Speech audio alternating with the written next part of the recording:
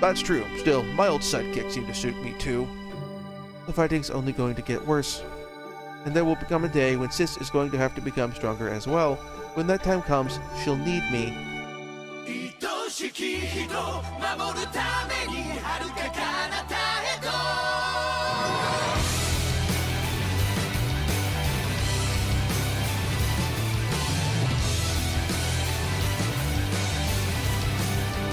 And we are back. Alright, so we took care of our uh, orders yesterday. We Still a whole bunch of attack points left. Uh, da, da, da,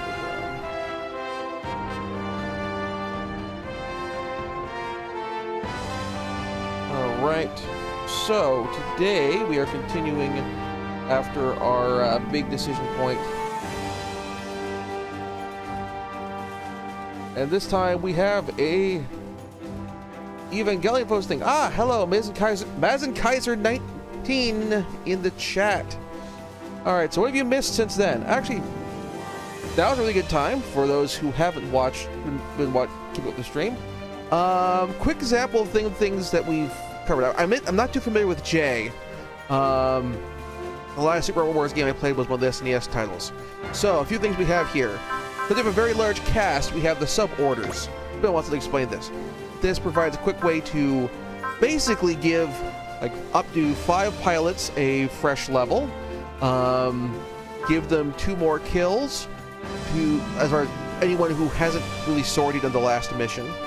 Um, two more kill, uh, two more kills, which gets them closer to the thresholds for Ace, um, Proud Ace, and that sort of thing get extra cash for upgrades and tack points. Uh, points, you buy use, use those in the factory to buy various degrees of upgrades, including getting med kits for your uh, for your units, which, by the way, are not expendable. Um, they stick around from um, mission to mission. You can just only use them once, so they're semi-expendable. They're rechargeable, I guess, way to put it. Uh, additionally, with our uh, protagonist with our um, protagonist AI 9 we've had a upgrade tree here where you can get special abilities to boost like how much you repair um, how many tack points you get how much um, extra cash you get that sort of thing.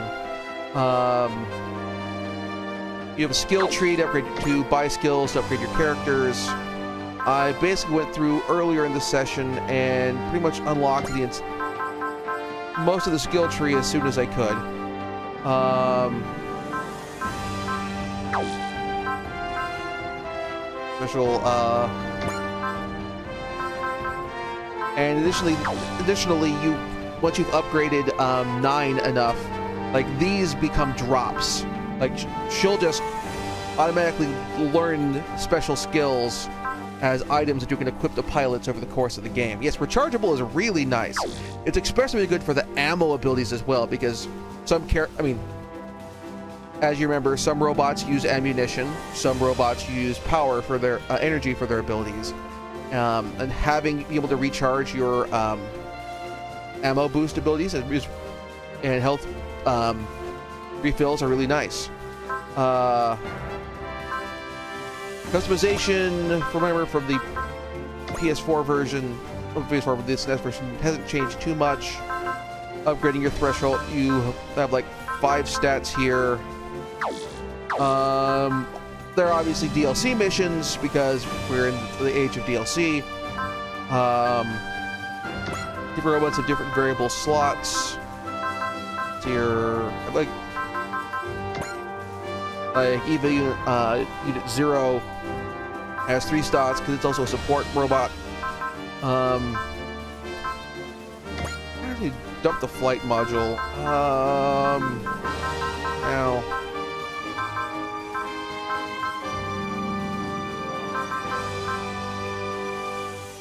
Um, what's Shinji's be deploying this time? Nope. Well, we're not in space right now, so we can save that for later. Um, let's give him the Prana converter, for example. So, like, this boosts his cash and tack points based on focus. Doesn't stack with other parts, but that's okay, because he The other parts don't relate to that. Um, pilot interchangeability is basically based on universe they're from. I don't have anyone from the. Uh, actually, here's a good example here. Um, Tobia. Um.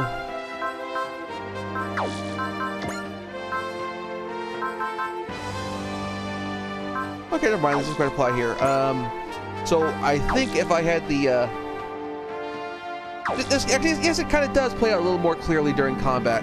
Um, I have a, um, on my YouTube channel. I, I've been playing this for a while. I'm on like mission mission 29.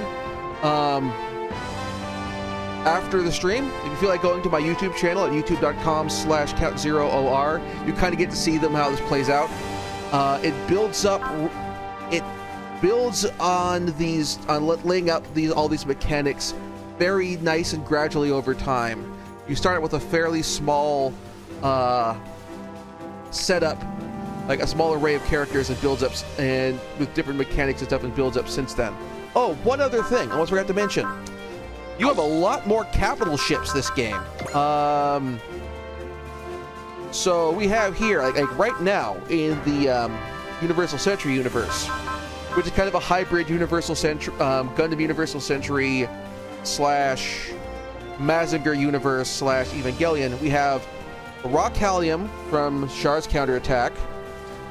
We have the Nahel Argama from Gundam Unicorn. And then we have this bad boy right here. Yeah, flagships. I, I, I refer them capital ships because it's the space battleship Yamato. It had it can shoot anything about halfway across the map, and I've kind of looked ahead a bit. And later on in the game, we're going to unlock the wave freaking motion gun. Thus far, it's only shown up in a couple cutscenes. But, like, this is the ship from which all spaceships with giant guns that kill everything in front of them. So, flagships. Um, we have gone, like, it varies from mission to mission. Like, um, this mission here has zero base units that we can deploy. I have gone, I have had up to three or four, depending on the mission. So I've had like three flagships. And so I've had a situation where I've got like one guy on the other side of the map who's really hard to hit and has a ton of hit points. And I can get my three flagships in position and just wail on him. Um, and particularly the Yamato, and it's really satisfying.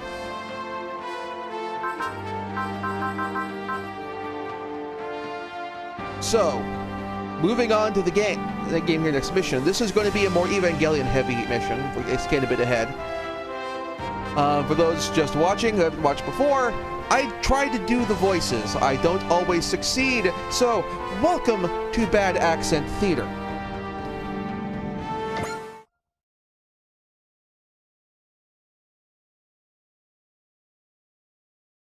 Alright. So, yeah, we're in Mazinger territory. We haven't actually spent much time at Tokyo 3 or NERV.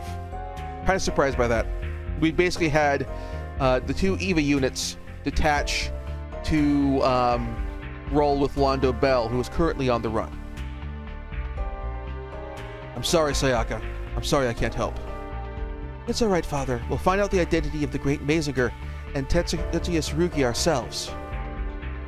So Dr. Yumi doesn't know either. Great Mazinger. It's truly a Mazinger of mystery. Thank you for your alliteration there, Amuro. Rest of you scientists are capable of building a robot like that. Especially now that Juzo and Dr. Strohol... Stroheim? I think that's how it's pronounced? Have both kicked the bucket. I, know of, I don't know of a single person who's still alive who can create a robot that's a match for the Mazinger Z. You remind me of the Gundam scientist from Gundam Wing. Scientist who's on par with Dr. Juzo. Same goes for the Great Mazinger, but I'm really curious about the modifications to the Mazinger Z. Um, this time versus Mazinger. This is this is not related to the Mazinger anniversary movie. Um, the Mazinger series we have here are um, Mazinger Z The Impact, currently available for streaming on Crunchyroll, and um, and uh, Great Mazinger. Um, I believe the original Great Mazinger. Maybe either the original or one of the OVAs. I can't say for sure. Also, we have Shin Robo Armageddon. Maybe Shin Robo versus Great Mazinger? I don't know. Oh, yes. Um, Shogeki Zihan, uh, The Impact. Yes. Again, currently available for streaming on Crunchyroll for those who haven't seen it, like me. I'm sorry. They turned the Great Mazinger when they tuned the Mazinger Z at the Photonic Power Research Institute, it didn't have that iron cutter or the drill missile. Which means that the Mazinger must have brought it out in the middle of combat. Yeah, I saw the first episode of Mazinger Z and fans, uh, the Impact went on fan subs before it got licensed. And I liked it. I never got around to watching the rest of it, and I need to get around to watching the rest of it now. Alright, that'll do it for today's training. Thank you, Ryoma. I want to hit the showers. You guys get this place cleaned up. Ah, it's finally over. That was another tough one, but we're finally managing to keep up with Ryoma's training regimen. Uh, by the way, this is, um, well, this is Hathaway Noah from, uh, who first appeared in Char's Counterattack. Um, this is the version of him from, like, from just before basically the start of Hathaway's Flash. So this is Noah Hathaway who, had he continued on this timeline, would have probably ended up turning into a terrorist and having to be executed by his father. But he hasn't gone down that road. Hmm. What's the matter, Shinji? Doesn't the current situation make either of you nervous? You have to fight Neo Zeon, and meanwhile are being pursued by the Federation forces. Even so, there are people who approve of and support what we're doing. Photonic Research Institute, and the Mithril Re Support Group, not to mention NERV, which is headed up by your father. So we've got support, and then we'll and soon, and soon we'll have all the necessary supplies. Then we can go on the offensive. So, as far as Hathaway's fall, they've touched on it with Tobia um, from Crossbone Gundam, who is also one of our characters. I'll be probably deploying him this mission. Um, but I think, and in Tobia's universe, which is also Yamato's universe, that happened. But because of how things played out here with fourth, with uh, second impact, and the events of Shin Getter Robo of um, events leading up to Shin Getter Robo, that didn't appear to happen here. So we'll see. NERV is apparently facing some serious pressure for helping Londo Bell, being a fugitive group at all. Also, the other universe that we're, which will eventually rejoin has uh, Might Gain, Cross Angie, um, not Martian successor Nadesico, and also Daitarn 3 and Zambot 3. Yes, there is some very wonky multiverse shenanigans. Um, Again, all the more reason to watch to go to the back episodes and watch some of that because it is it is really entertaining watching these characters figure out the whole multiverse setup. We thus far we have three universes: the New Correct Century, which has um, Yamato, Crossbone Gundam, and F93.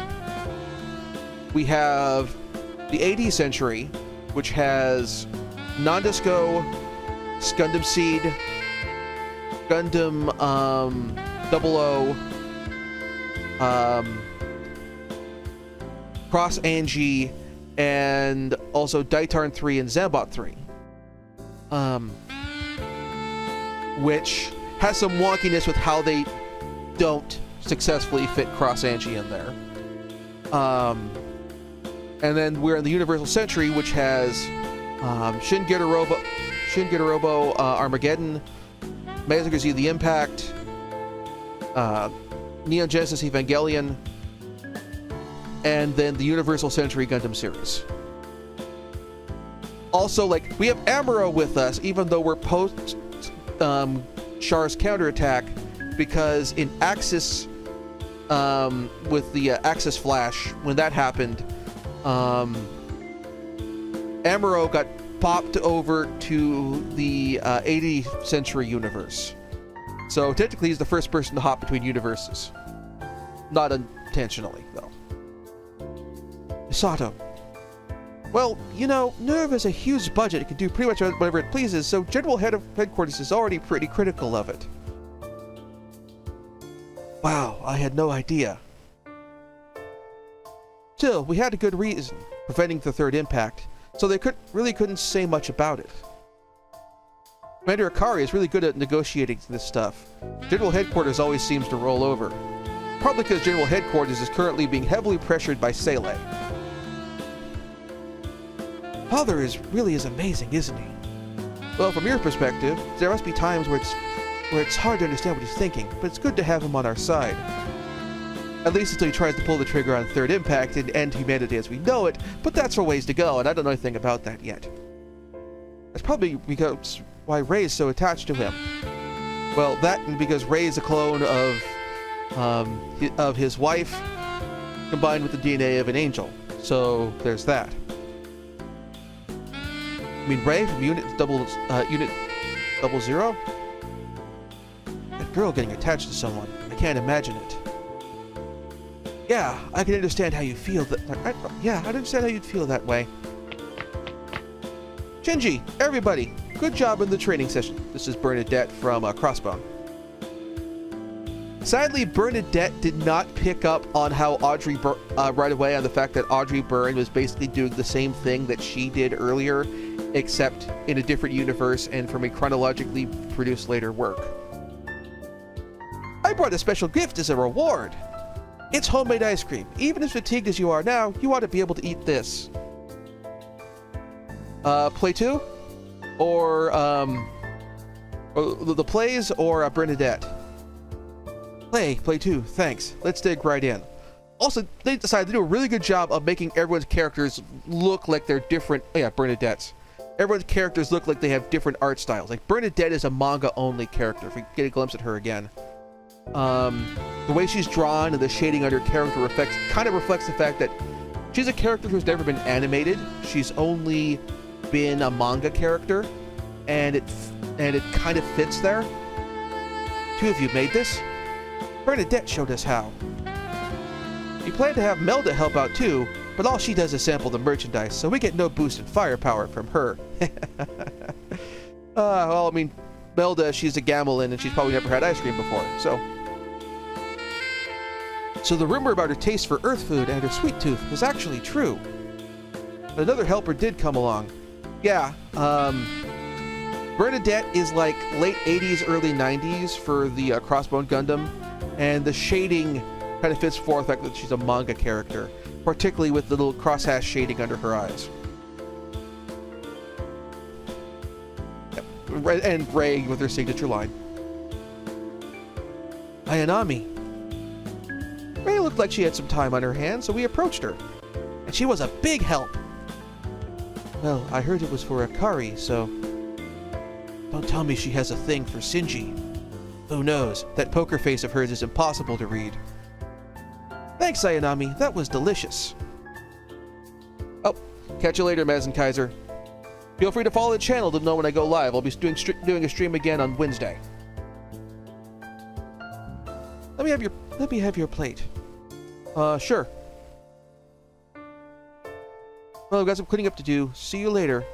Oh, by the way, if you're bailing now, stream um, YouTube channel is youtube.com slash user slash count zero OR. Like this YouTube channel. Pop that in the chat real quick. Alright.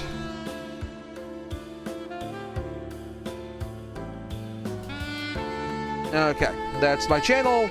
Check it out for the back episodes.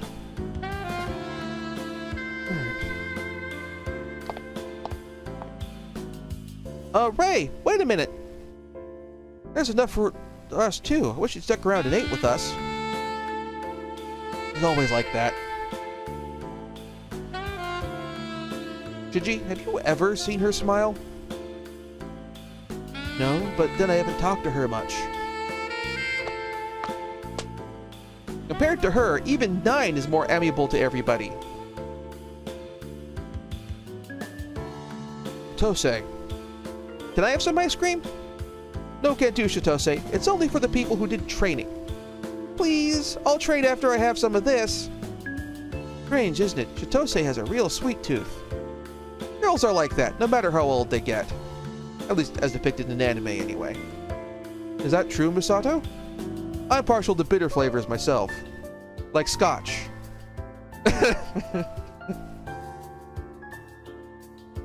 In other words, beer, right? Also beer.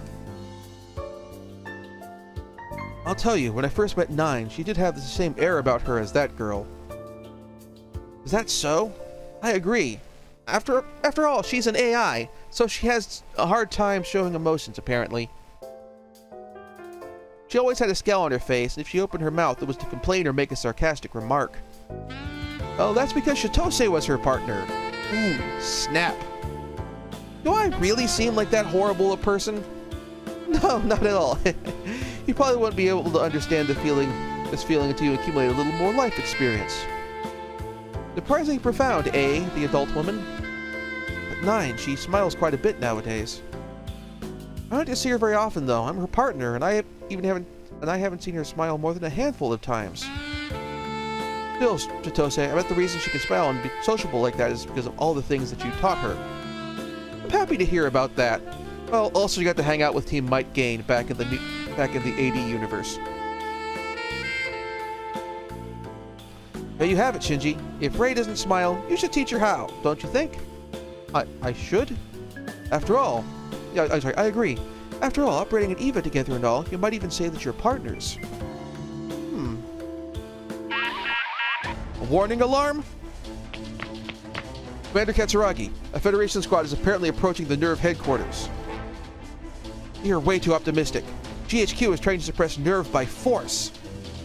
Boy, we're skipping straight to End of Evangelion. We haven't even had, like, the other angel attacks yet. Bother.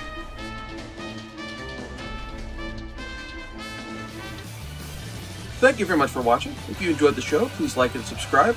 Also consider backing my Patreon. Patreon backers get episodes up to one week early of this show and any future Let's Plays. Also, please consider backing my Ko-fi. Uh, toss me a few bucks also helps support the show, and it's not a monthly obligation or anything like that.